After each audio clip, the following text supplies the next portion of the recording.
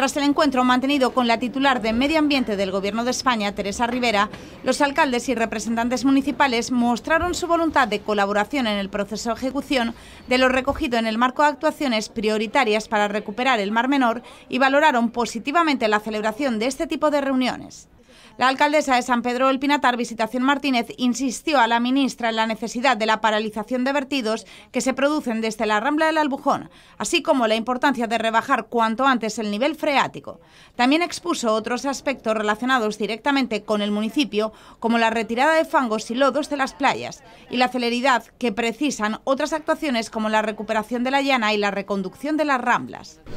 Hoy concretamente hemos puesto de manifiesto nuestra eh, voluntad de colaboración siempre nos hemos, eh, hemos preguntado por algunas actuaciones que, como el resto de compañeros, nos preocupa eh, en la Rambla del Albujón, nos preocupa el nivel freático, que está muy alto y muy elevado, y la presión que hace sobre el Mar Menor. También hemos pedido colaboración, como siempre, en la retirada de los fangos y los lodos, que es un problema que en San Pedro del Pinatar tenemos desde hace mucho tiempo y también hemos pedido celeridad en las actuaciones eh, que concretamente afectan al municipio de San Pedro del Pinatar, como la recuperación de la playa de la Llana y aquellas actuaciones de reconducción de ramblas que nos inundan cada vez que llueve. Se nos ha mostrado una serie de, de plazos y de compromisos económicos. En el caso de estas dos actuaciones no ha venido reflejado, por lo tanto yo le he pedido a la ministra que se concreten y sobre todo que se dé celeridad porque nuestros vecinos así lo necesitan.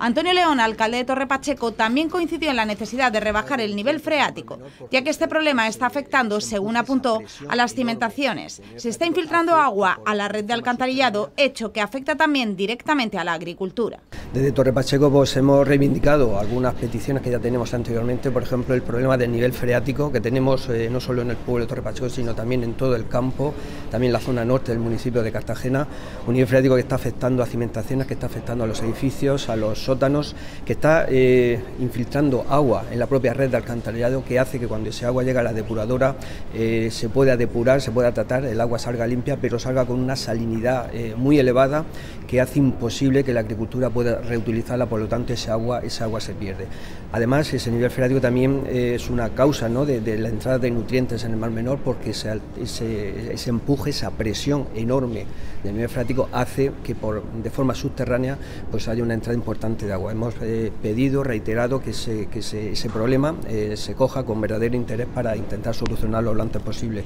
También pidió flexibilidad en cuanto a las obligaciones que se les están exigiendo a los agricultores, además de reivindicar una vez más soluciones a las inundaciones que sufre el municipio cuando llueve de forma severa.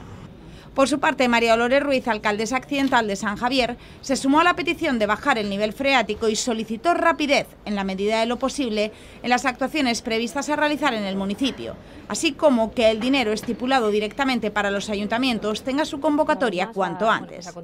Otros de los temas que preocupan a San Javier son las obras de los diques de contención en la Rambla de Cobatillas, así como la necesidad de ayudas destinadas a agricultores y hosteleros que sufren directamente las consecuencias de la degradación degradación del Mar Menor. Del Ayuntamiento de San Javier le hemos mostrado nuestras inquietudes, nuestros problemas, hemos vuelto a hablar del nivel freático que está muy alto, en San Javier no hay ningún tipo de vertido de aguas freáticas al Mar Menor, pero efectivamente como el nivel freático está tan alto, pues emana directamente en las playas y se puede ver, con lo cual es para nosotros muy importante tanto el corte de suministro de agua por la rambla del Albujón como esa eh, que se deprima ese acuífero para evitar tener esos problemas. Eh, también le hemos eh, bueno, pedido celeridad en cuanto a esas actuaciones a las actuaciones y el dinero que viene directamente a los ayuntamientos, pues que se haga la convocatoria cuanto antes. Estamos realizando los proyectos para hacer esa red separativa, para seguir trabajando en todas esas actuaciones que nosotros desde el municipio, desde nuestras competencias municipales y desde la comunidad autónoma se están trabajando intensamente desde hace ya varios años. Entonces, esta inyección de dinero que por fin nos va a poder venir desde el Ministerio, bueno, pues que sea lo antes posible, que pueda llegar lo antes posible para que podamos subir los proyectos a contratación.